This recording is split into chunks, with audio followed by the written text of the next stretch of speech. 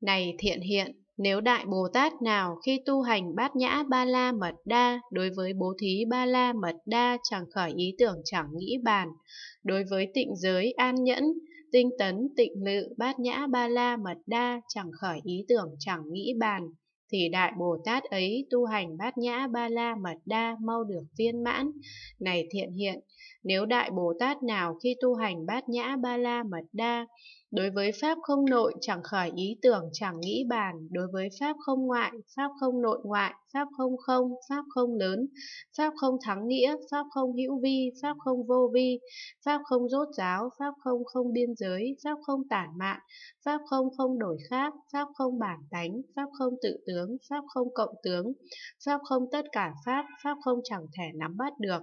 Pháp không không tánh, Pháp không tự tánh, Pháp không không tánh tự tánh, chẳng khởi ý tưởng chẳng nghĩ bàn, thì Đại Bồ Tát ấy tu hành bát nhã ba la mật đa mau được viên mãn.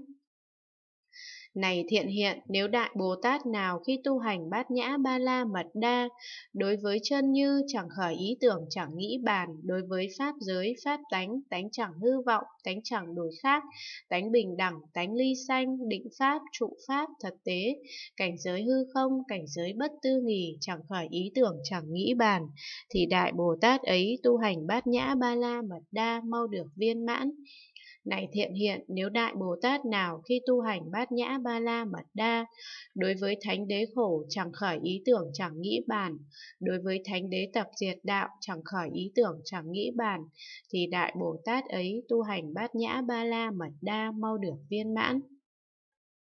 Này thiện hiện, nếu Đại Bồ Tát nào khi tu hành bát nhã ba la mật đa, đối với bốn tịnh lự chẳng khởi ý tưởng chẳng nghĩ bàn, đối với bốn vô lượng, bốn định vô sắc chẳng khởi ý tưởng chẳng nghĩ bàn, thì Đại Bồ Tát ấy tu hành bát nhã ba la mật đa mau được viên mãn.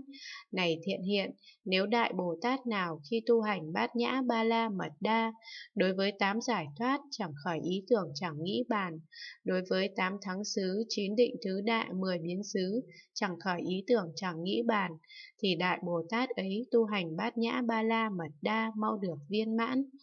Này thiện hiện, nếu Đại Bồ Tát nào khi tu hành bát nhã ba la mật đa, đối với bốn niệm trụ chẳng khởi ý tưởng chẳng nghĩ bàn, đối với bốn chánh đoạn, bốn thần túc, năm căn, năm lực, bảy chi đẳng giác, tám chi thánh đạo, chẳng khởi ý tưởng chẳng nghĩ bàn, thì Đại Bồ Tát ấy tu hành bát nhã ba la mật đa mau được viên mãn.